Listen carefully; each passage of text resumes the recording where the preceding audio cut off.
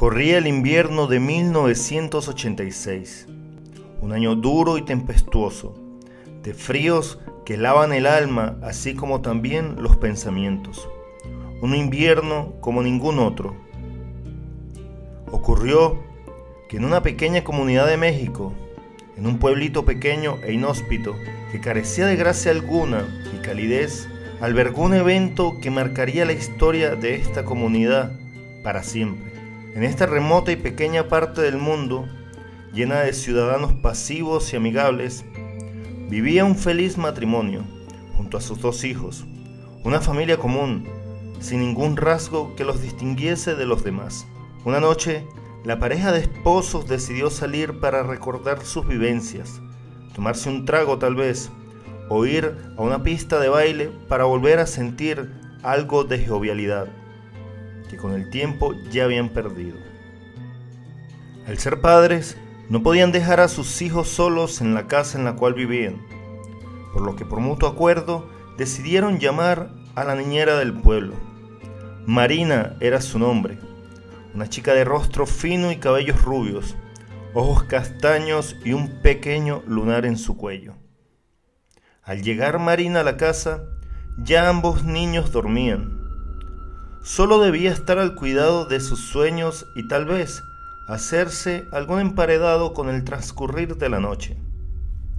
Los esposos, ya seguros de que sus hijos no quedarían solos, decidieron partir a disfrutar su noche, ya que con sus hijos era difícil pasar tiempo juntos. Se despidieron de Marina y le dejaron todas las instrucciones que debía seguir. Así, como sus números de teléfono por si necesitaban algo en el transcurrir de su turno. Y hecho esto, se fueron. Era una noche de cielo despejado, pocas nubes, sin estrellas. La luna era grande, imponente, como si vigilara los pasos que daba la humanidad.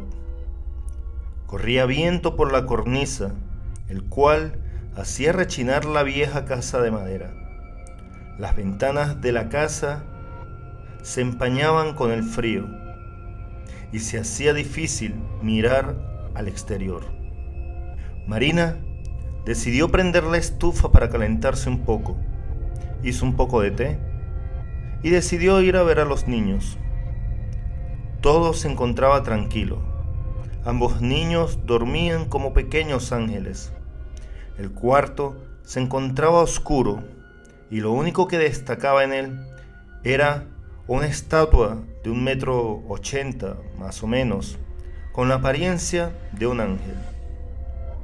Una estatua que para Marina era algo extrovertida, pero debido a que la familia era muy cristiana, pensó era parte de sus creencias, no dio más importancia y se dirigió de nuevo al desván de la pequeña casa.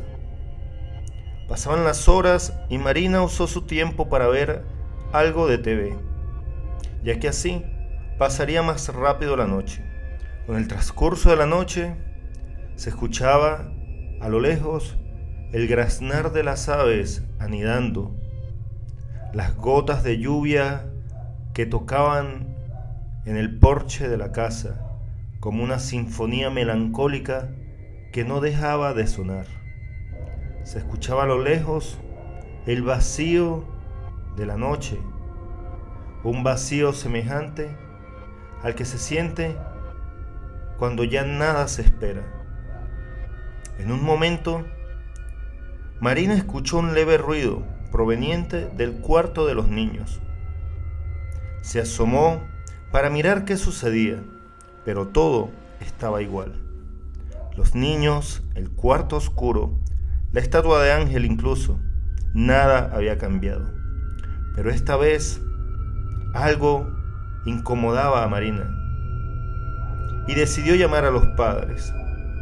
Al contactarlos, les preguntó cómo iba su noche. Estos contestaron que bien, lo que necesitaban hace mucho, añadieron. Le agradecieron a Marina por cuidar a sus hijos y preguntaron si todo iba bien. Marina respondió que sí, pero que solo quería saber si podía tapar con algo una manta tal vez, la estatua de ángel que mantenían en el cuarto de sus hijos, ya que al verla se sentía un poco inquieta. Les pidió disculpa por su atrevimiento de antemano y esperó una respuesta.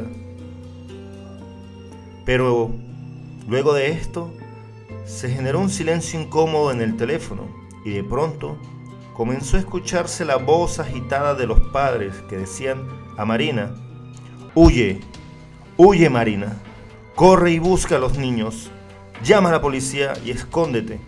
Nosotros no poseemos ninguna estatua en nuestra casa.